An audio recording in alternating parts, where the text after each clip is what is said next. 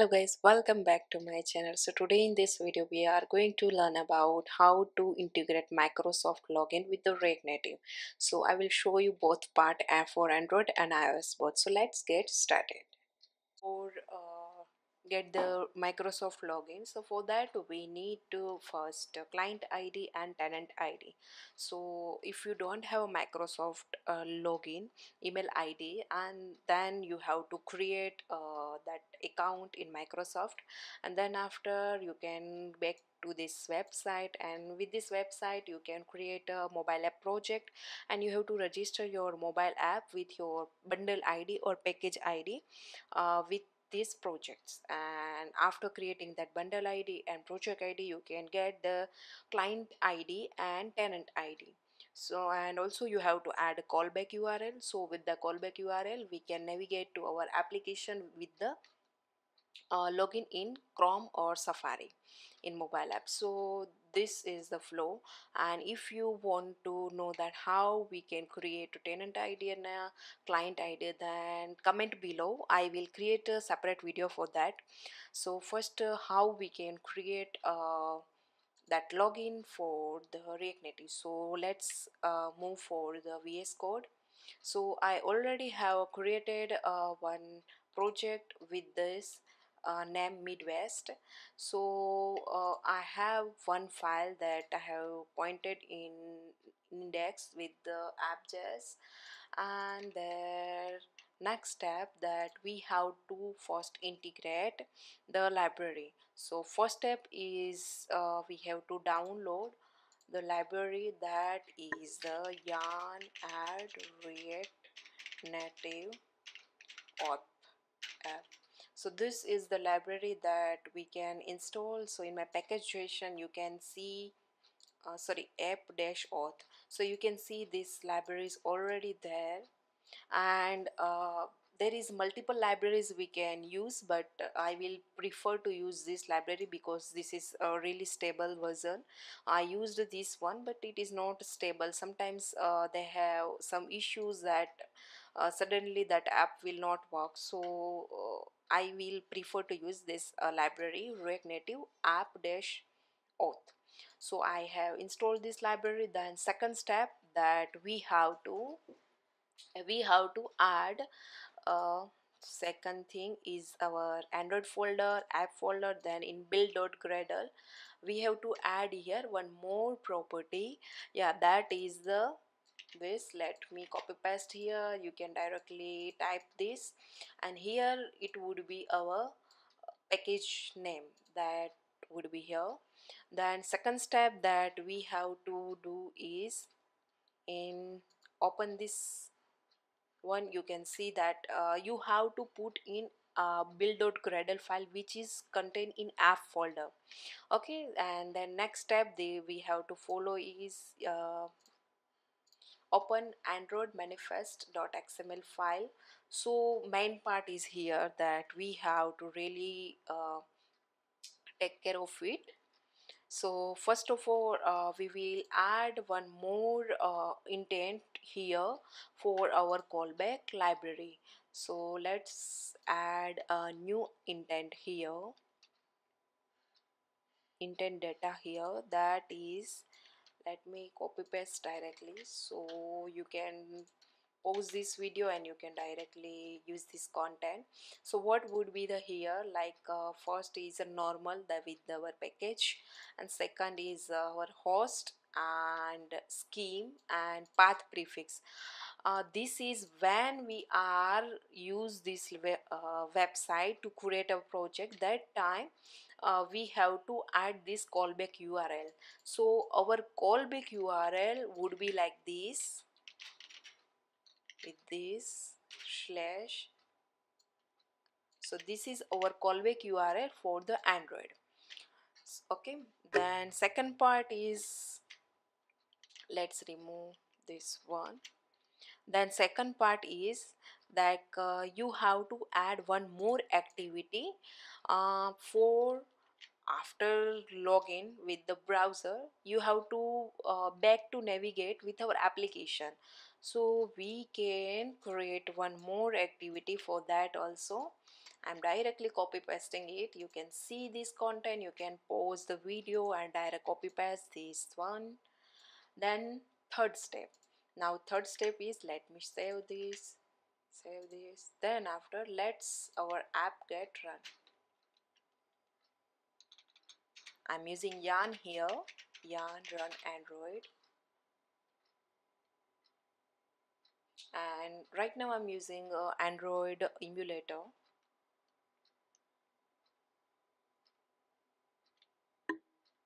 So let's wait for it uh, get run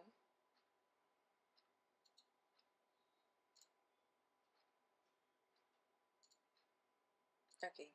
So you can see that metro is running and our application is also running.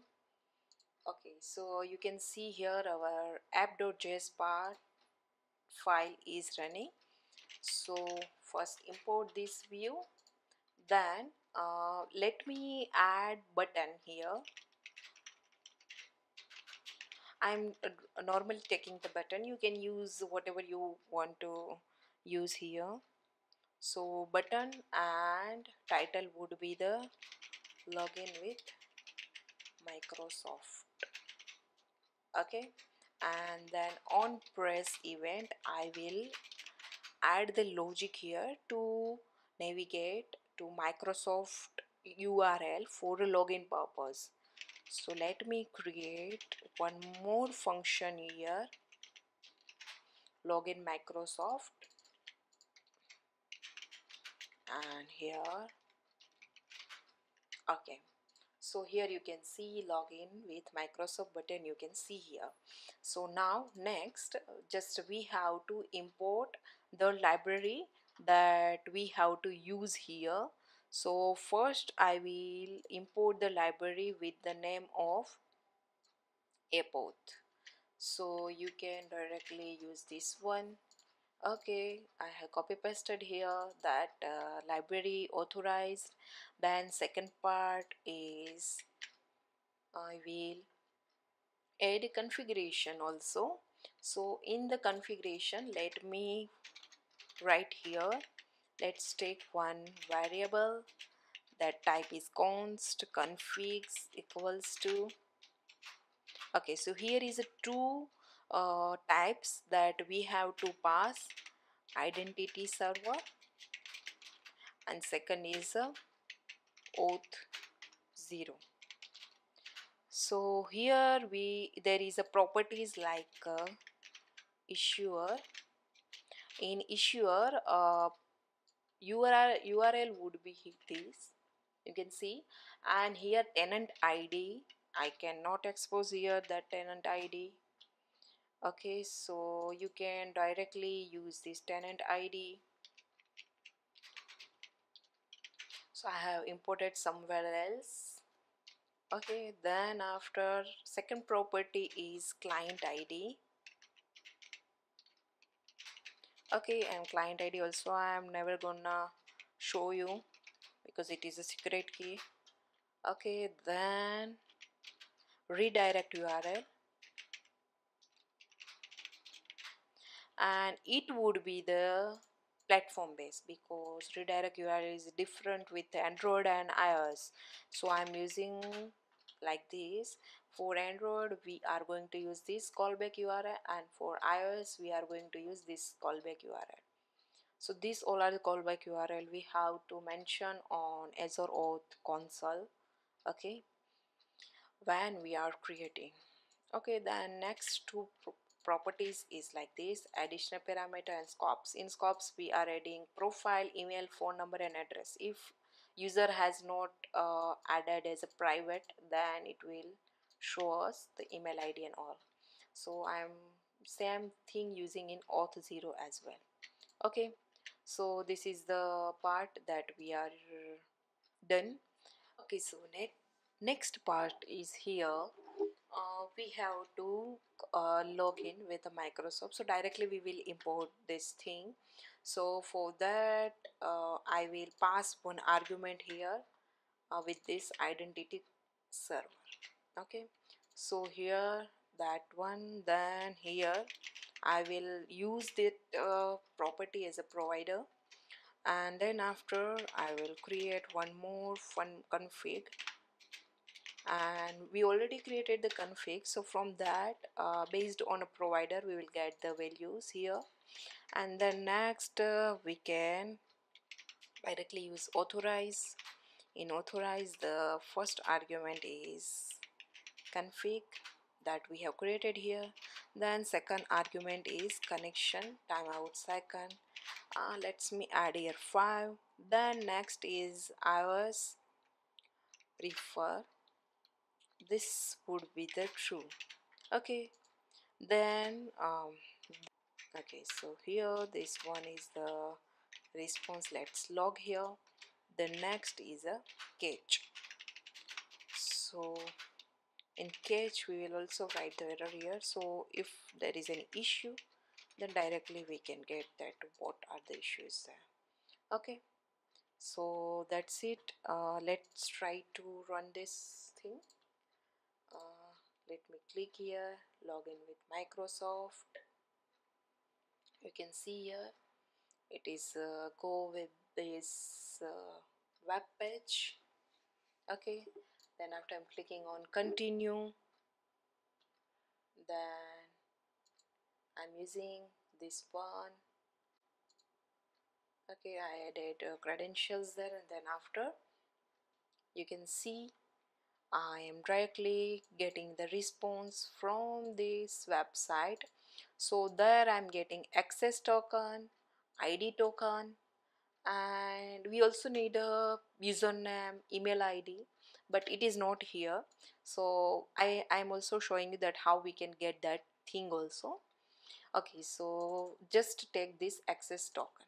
Okay so with this access token to get the data like uh, username or email id so for that we will use another library. So that library is already have installed here that you can see react native azure auth. Okay so just simply we have to install it. There is no any extra configuration because we already configured with this library. So that configuration are the same. Okay then next is we have to import that library so let's import that library. Uh, we can import like this. Sorry it is not imported. Okay now you can see. Okay then after so when we get the response here res that time we have to call this library. Uh, that is uh, uh, with the Azure auth. So first we have to configure client ID and tenant ID in Azure auth so here outside of our function we will configure that thing.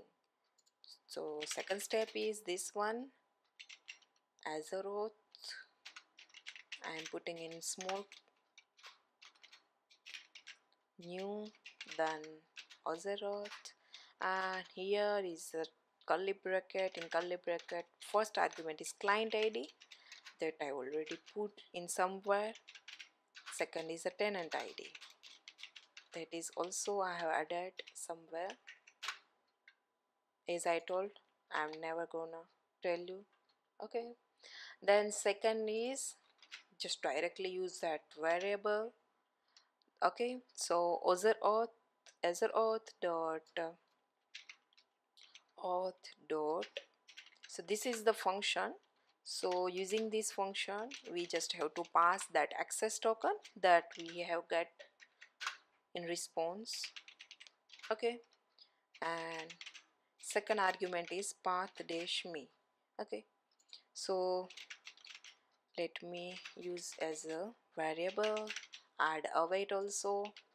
To await I have to add async also here. Then let me log this info okay. So again okay. I refreshed login with Microsoft. It's go in browser then continue. I'm using this one of the app.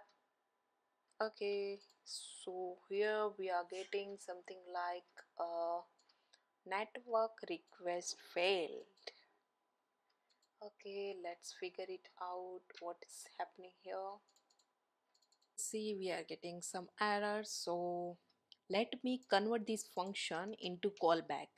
So for callback uh, first const then equals to use callback. If it is not import then we have to manually it would be the import async. Then provider then with this we have to add dependency array here. Okay. Then provider let's add await here. So await let me add some variable. Okay. Now let's check. Okay. Then login with Microsoft continue. Okay. So you can see here my data. That is uh, mail. It is uh, okay. So email id is there and display name is there. I'm going to hide this data because that is a personal data. I'm, I'm not gonna show you that what is my email ID display ID sorry display name so this is from my side and with this we can directly log in and we can get we can store this data in our database. So thank you so much to watch this video. If anything is missing or anything is mistake i'm also day by day improving. And just uh, comment anything uh, next video that we you need with this topic or any related to react native topic. So i will try to make the video with that topic so thank you so much. Subscribe my channel like my video. Thank you so much